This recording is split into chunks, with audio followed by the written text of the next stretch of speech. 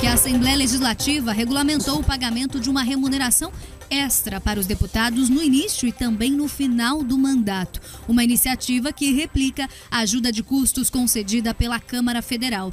A remuneração extra para os parlamentares foi criada na última semana de trabalho da Casa, ainda no ano passado. A proposição foi aprovada às pressas por meio de sessões realizadas de forma remota.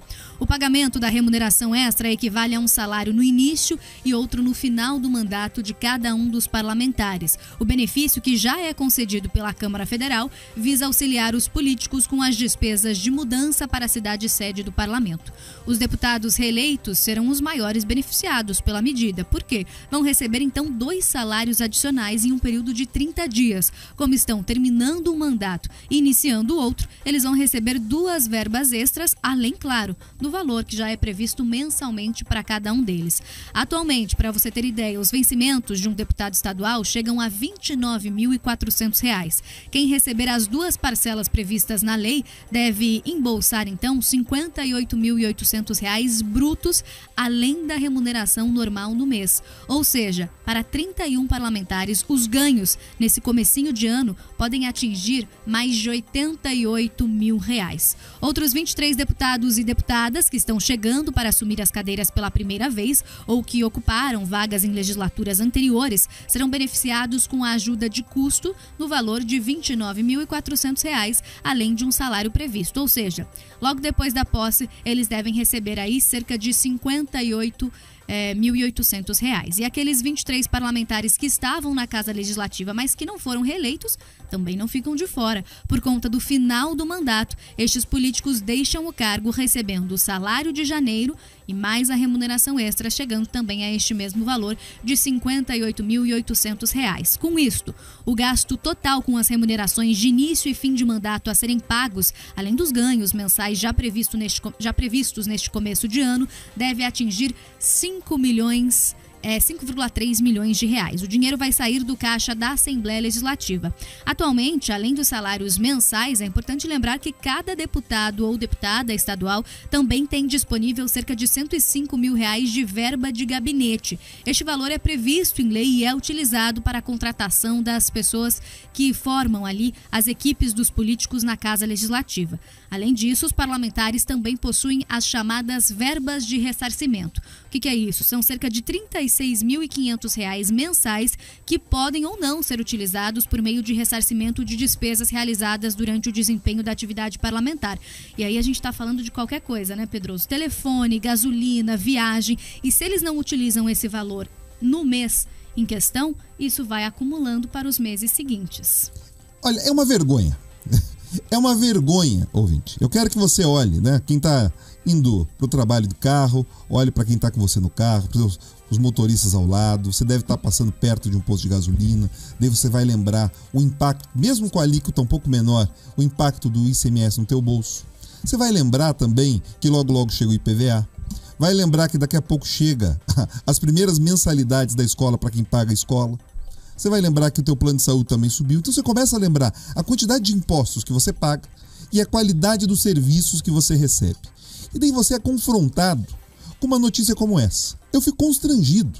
Constrangido. Mano, pelo amor de Deus, a gente já está falando de uma classe que é cheia de privilégios, cheia de benefícios, tratamentos os mais diferentes. Assim, olha, é, é um tratamento diferenciado atrás do outro.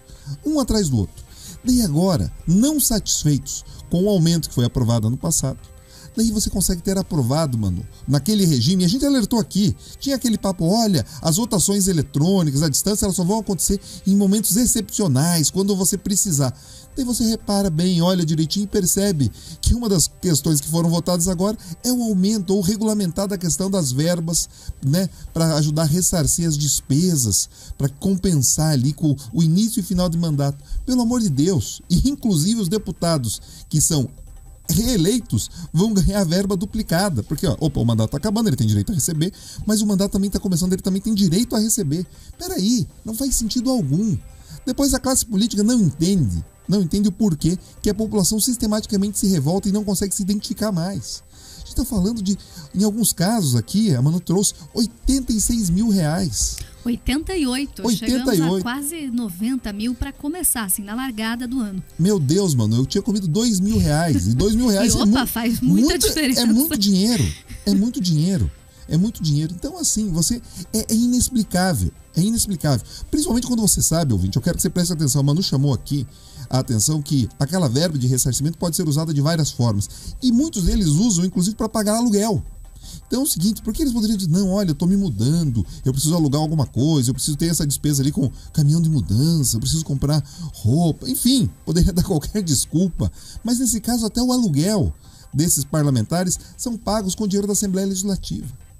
Então, assim, é uma vergonha, é uma vergonha. E a classe política, enquanto ela não conseguir entender que esses privilégios, eles chocam as pessoas, né, que, que eles afastam da representatividade e criam um sentimento de revolta, assim a gente não vai conseguir avançar com esse aperfeiçoamento da democracia. Muita gente fala, enche a boca para falar de democracia, mano. Mas o princípio democrático, as pessoas elas precisam acreditar na democracia e se sentir representadas por aqueles que exercem os mandatos por elas delegado. Então, assim, não adianta que as prioridades sejam esse tipo de verba, esse tipo de, de privilégio. Principalmente porque eles são cumulativos. Então, eles aumentam o salário ali, daí eles aumentam a verba desse benefício de início de fim de mandato, os salários adicionais, e daqui a pouco você vai perceber que outras verbas também serão majoradas. E daí começa aquele debate: não, mas você tinha dinheiro sobrando no caixa da Assembleia. Nós estamos discutindo aqui num orçamento enorme. Estamos falando aqui de 5 milhões, esse dinheiro quase não dá para nada. É uma mentira. É uma mentira.